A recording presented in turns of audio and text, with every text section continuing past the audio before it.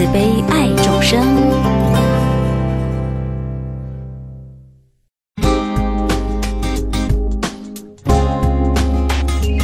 接下来，请收看《长老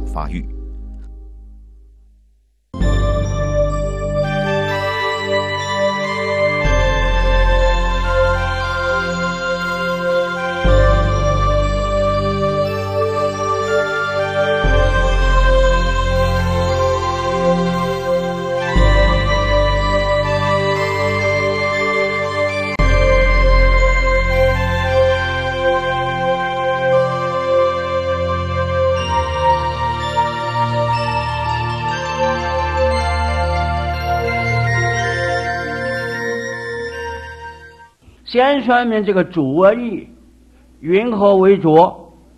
怎么叫做浊呢？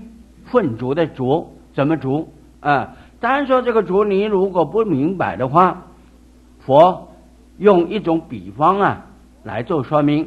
所以对欧难说：“欧难，比如清水，清洁本然，即比尘土灰沙之人。”本质留爱，二体法而性不相生。啊，这说明有两样东西呀，一个是清的，一个是浊的。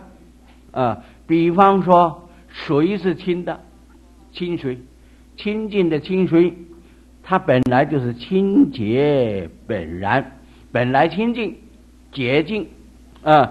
本来就是如此清清净净的水，可是另外一样东一样东西就是浊的，世间的尘土、灰沙、尘尘埃、土质啊啊，或者是烧成灰的这个木木灰啊，或者是沙土，这些东西轮就是类，这类东西呀，它一下就是主味的。不能清的，啊，尘土是浊的，啊，灰也是浊的，沙都是浊的，这个东西都是浊，啊，为什么会浊啊？本质留爱呀，尘土灰沙，它的本质就是滞留停留在那里，阻碍住水的流通，它对于水是有阻碍，啊。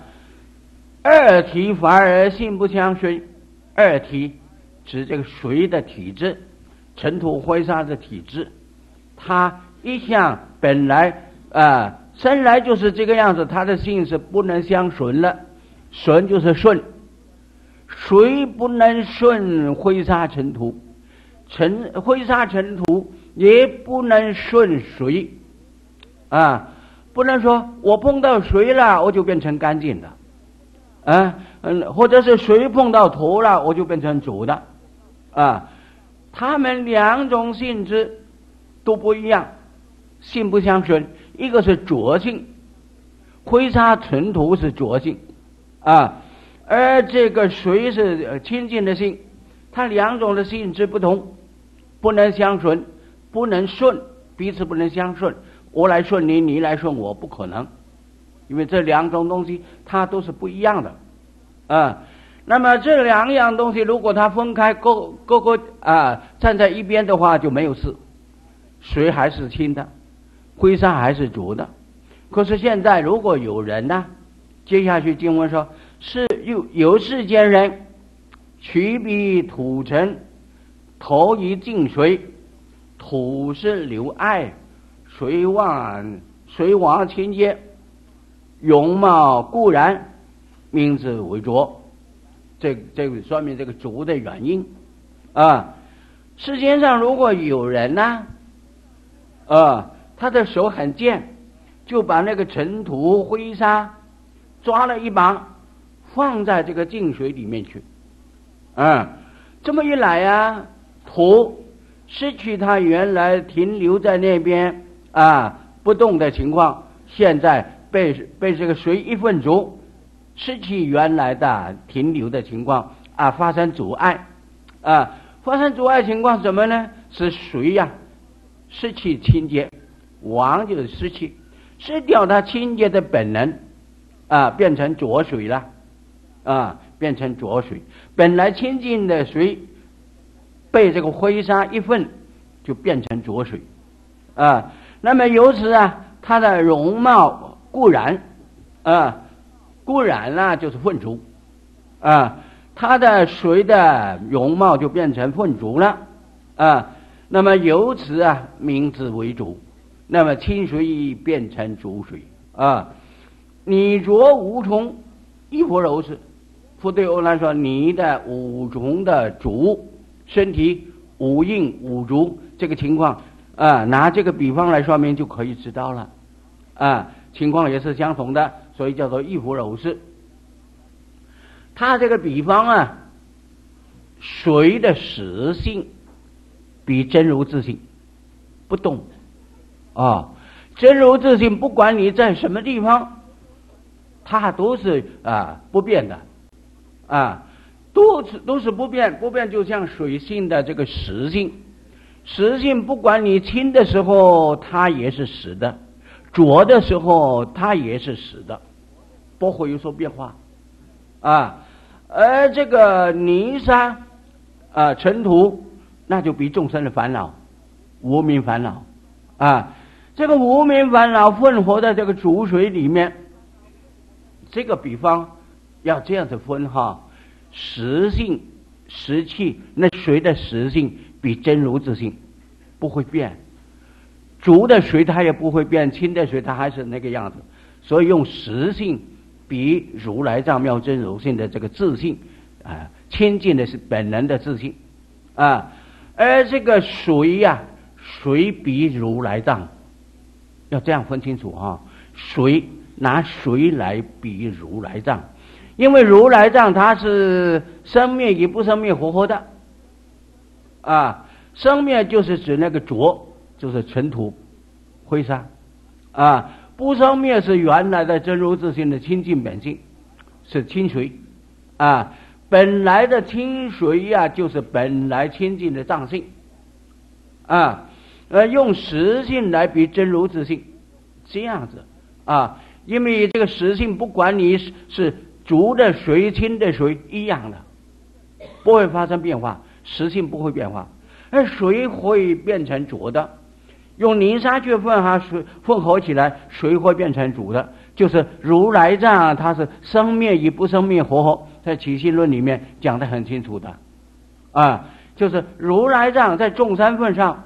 它是就像那个煮水情况一样，啊，所以下面就教人要怎么样子使它把浊的去掉，恢复原来清净的水性，啊，在如来藏中要把这个啊呃未足的烦恼啊泥沙把它去掉，然后才能恢复原来的清净，啊，下面就分别这个五浊啊，这个五浊的说法。跟普通一般说法不一样啊，但这都是乐它的根本说明的。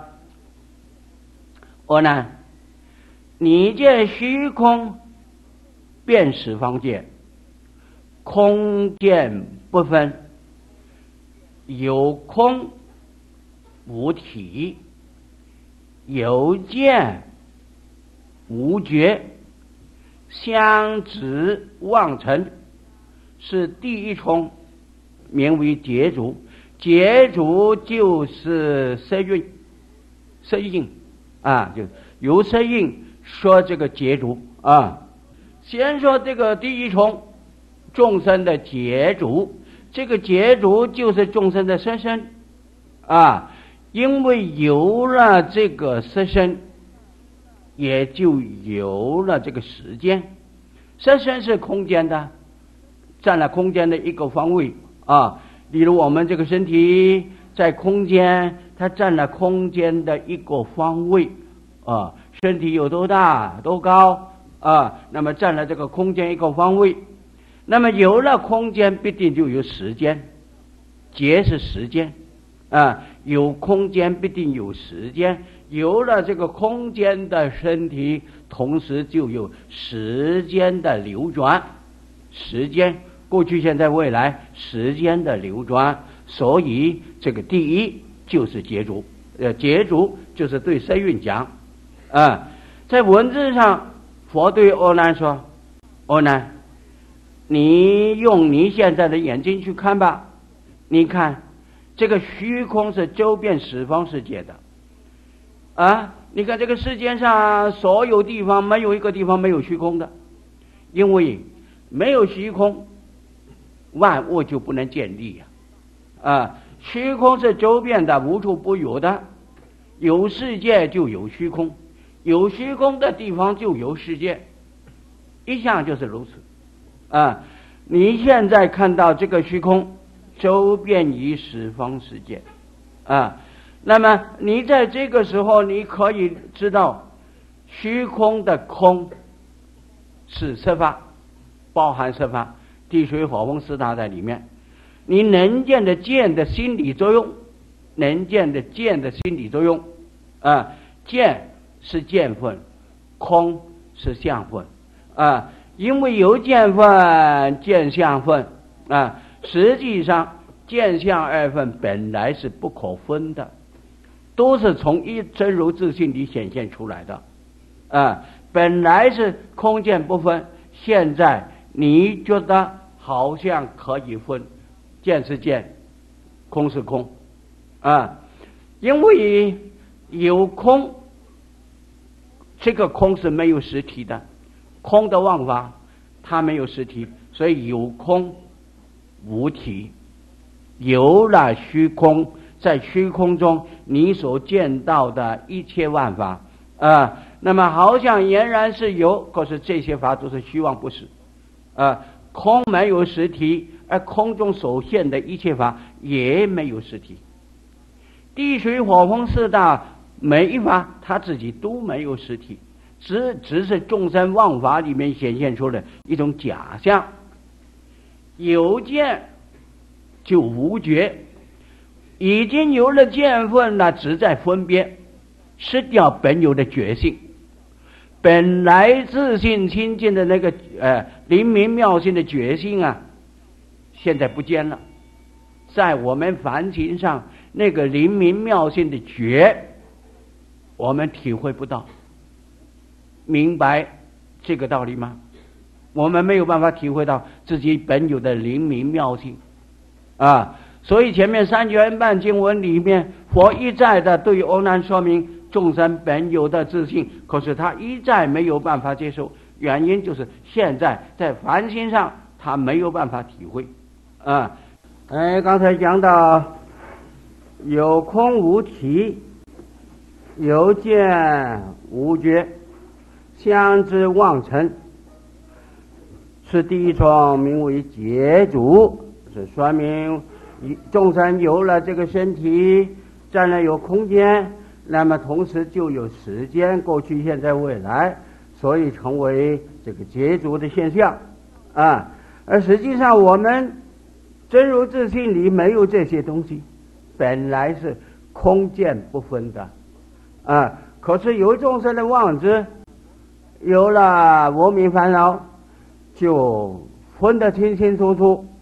有空，可是没有它的实体；空里面的地水火风，也是没有它的实体。而成为众生有个见分的见能见的作用。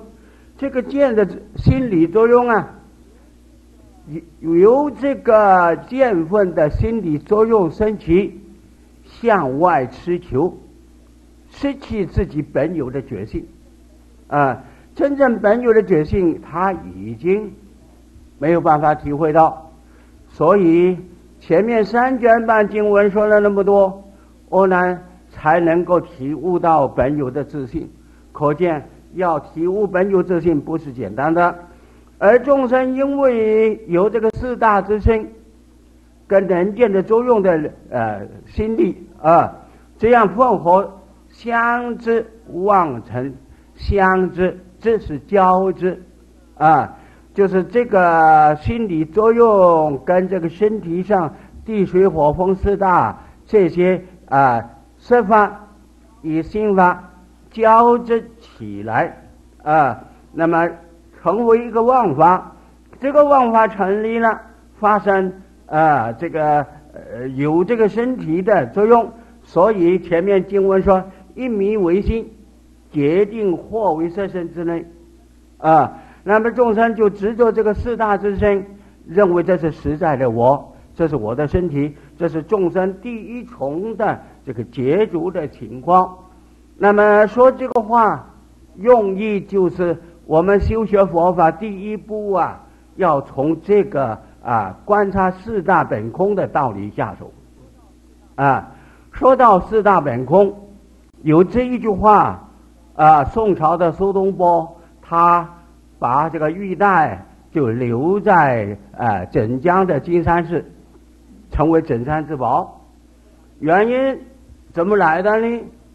呃，宋朝的苏东坡跟这个福印禅师，所谓方外交啊，他们是最好的朋友啊。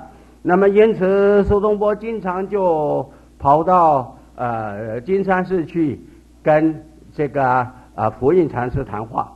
啊，有一天，佛印禅师他正在方丈里面为那些学禅的人呢考验他的功夫。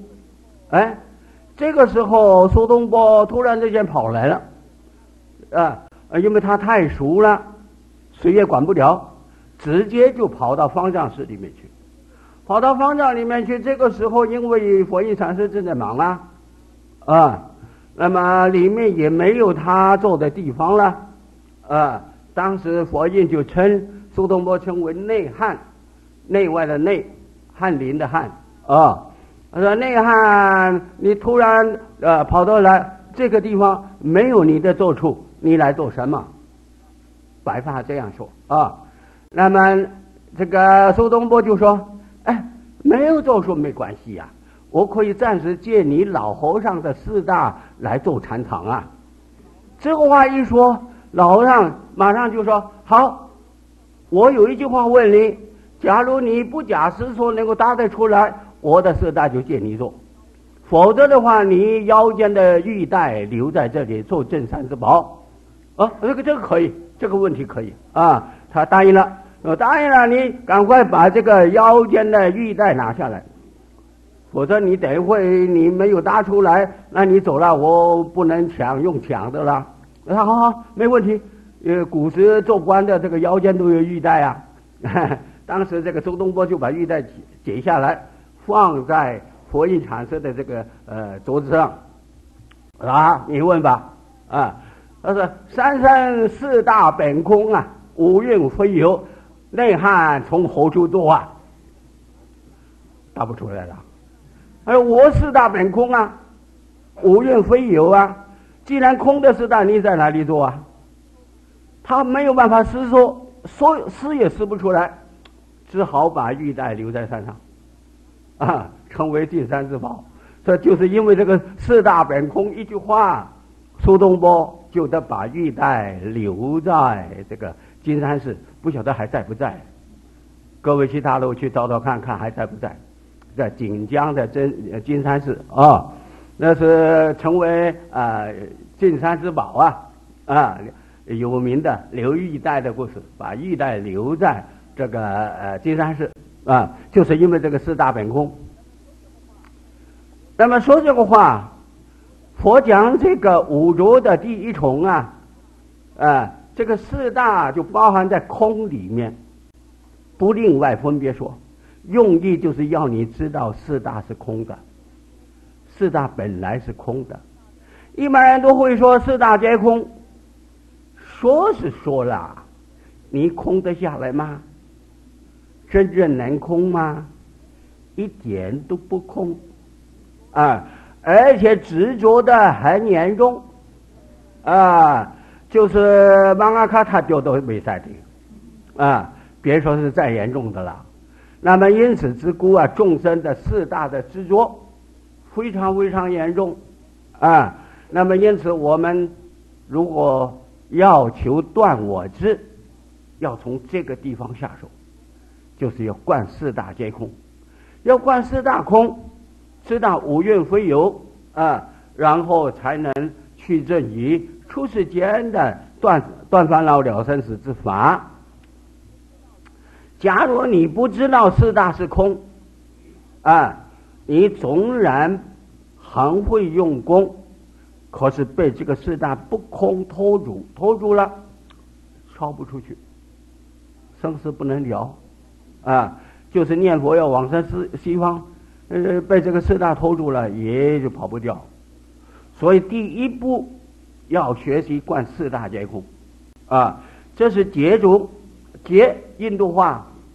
时间长的叫做劫波，劫是简称，劫波翻成中国话就是时分，时间长的叫做劫，啊，因为这个世间，啊，因为这个它有成成住坏空，啊，成二十小节，住二十小节，坏也二十小节，空也是二十小节。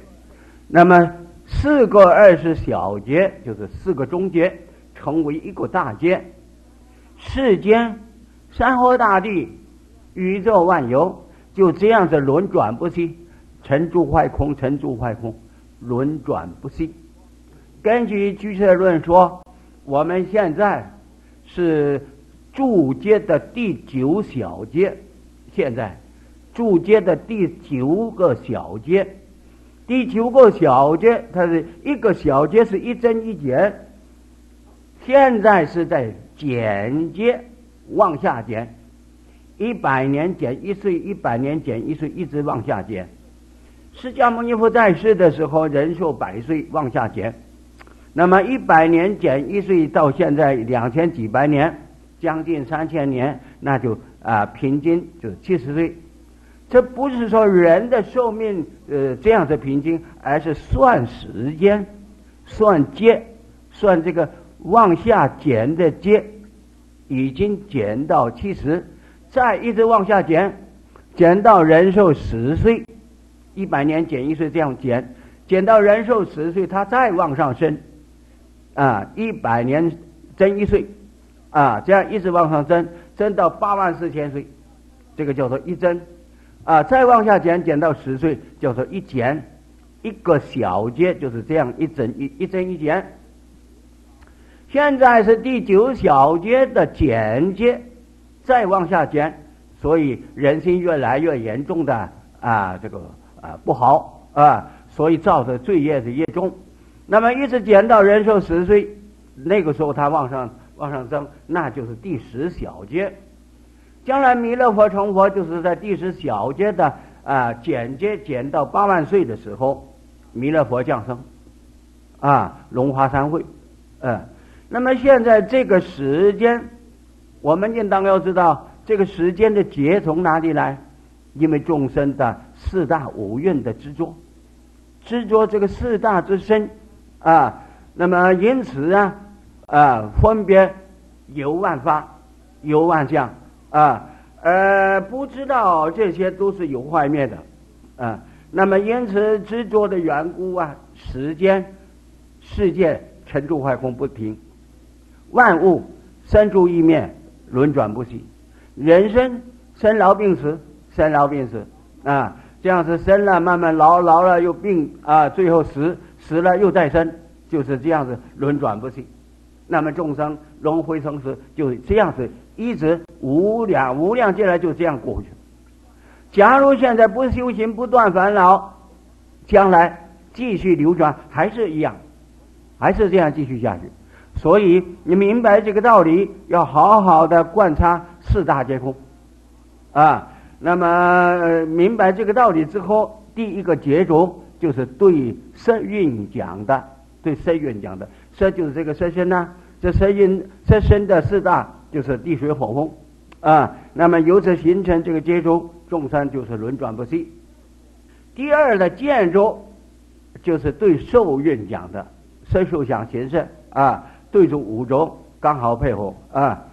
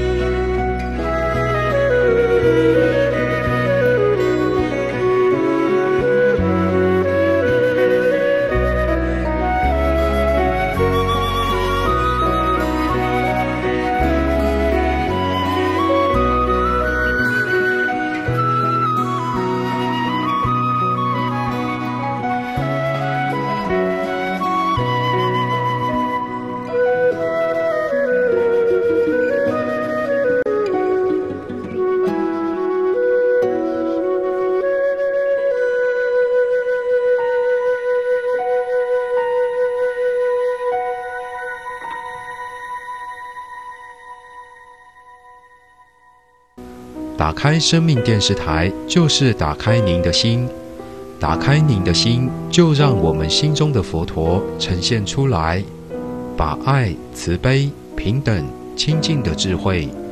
愿各位常常打开生命电视台，打开您的菩提心，也期望各位多护持生命电视台。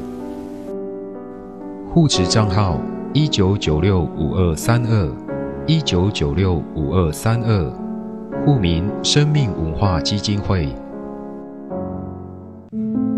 高雄生命书坊举办传授八关斋戒暨礼拜千佛法会，恭请占山法师主法。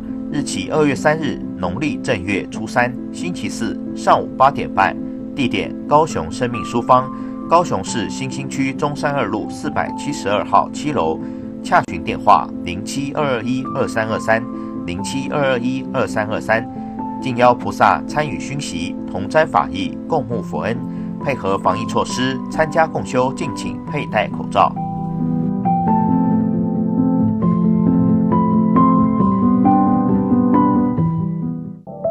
屏东妙云寺、高雄生命书坊联合举办消灾祈福法会暨礼拜弥陀宝忏护生蒙山施食，恭请湛山法师、湛江法师、湛同法师共同主法。日期二月六日正月初六星期日上午九点半，地点屏东妙云寺，屏东县万丹乡新安村大兴路一百七十五号。洽询电话零七二二一二三二三零七二二一二三二三。敬邀菩萨参与熏习，同沾法益，共沐佛恩。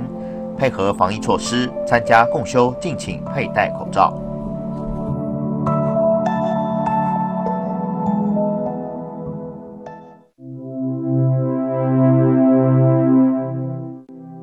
十地菩萨中的八地菩萨叫做不动地菩萨，他功德任运增进，愿恼不再现行，他不为名利所动，也不被禁风所诱，只有大愿度生，所以叫做不动地。